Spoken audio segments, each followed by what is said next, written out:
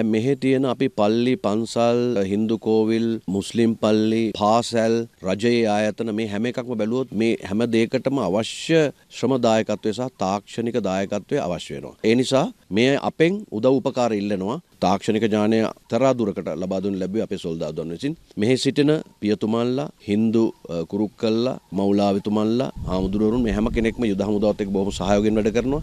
මේ වෙනකොටත් ගංවතුරට අහුණු පාසල් තුනක් නැවත ප්‍රතිසංස්කරණය කිරීම කරගෙන යනවා. ඒ වගේ කටයුතු වල දායක වීම නිසා මිනිසුන්ගේ ප්‍රසාදය අපිට ලැබිලා තියෙනවා. මේ රෝහලට හමුදාවෙන් සෑහෙන උදව්වක් වෙනවා නිතර නිතර මේ හමුදාය මේ පැත්තට ශ්‍රම දානමේවා කරලා මේ රෝහල වඩා පිරිසිදුව තියාගන්න උදව් කරේ අපිට හමුදාවේ කට්ටිය තමයි.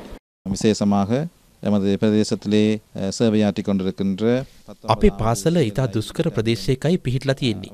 දරුවන්ට අධ්‍යාපන කටයුතු කරගෙන යන්න බාධා පැමුණේ පහුගේ කාලේ ඇතිවුණු අයහපත් කාලගුණේ නිසයි. පාසලේ බොහෝ ස්ථාන විනාශයට පත් වුණා. මේ ස්ථාන යළි පිළිසකර කරලා දුන්න යුද හමුදාව. අද අපේ දරුවෝ හොඳින් ඉගෙන ගන්න යුද හමුදාව ඒ කරලා දුන්න කාර්යයන් නිසයි. මේ සම්බන්ධයෙන් යුද හමුදාවටත් රජයටත් අපේ ස්තුතිය පුද කරන්න මම මේක අවස්ථාවක් කරගන්නවා.